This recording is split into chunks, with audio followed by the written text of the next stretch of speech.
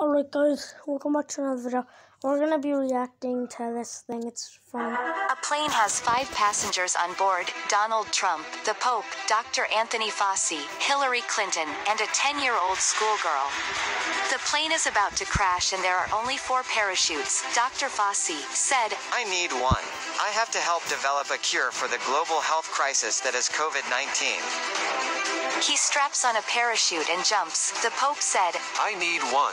I have to help spiritually guide people through the global health crisis that is COVID 19. He takes one and jumps, Hillary said. I need one. I'm the smartest woman in the United States.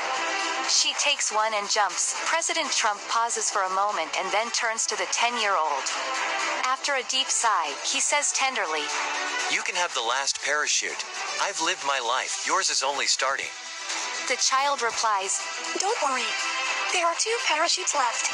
The smartest woman in the United States took my school backpack.